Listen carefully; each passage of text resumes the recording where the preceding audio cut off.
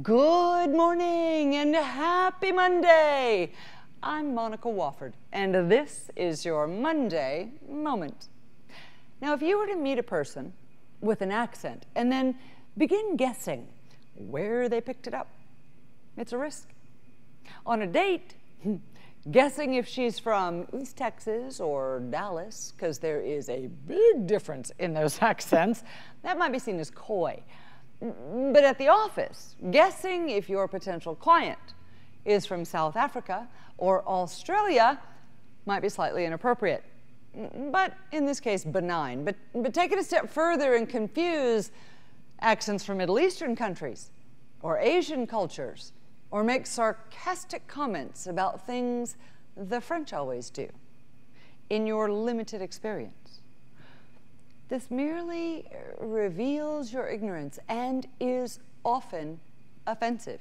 Maybe you've been around the whole world and you know the world is filled with different values, different sounds, different accents, different beliefs of each person in each culture.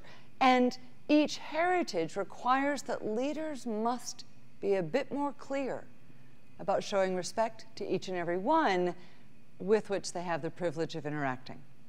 Now, this comes across most readily in your communication delivery. You may not know the custom or holiday, but you can certainly inquire in a way that still shows your level of respect and courtesy for their heritage. You may not know which elf on the shelf to order for the office, the black one or the white one, but you can certainly respectfully include the team in such a conversation before you make that decision. Communication means we talk with each other. And when it comes to culture, the key element that must come before all others is respect of each other's similarities and differences. I'm Monica Wofford, and that's your Monday moment.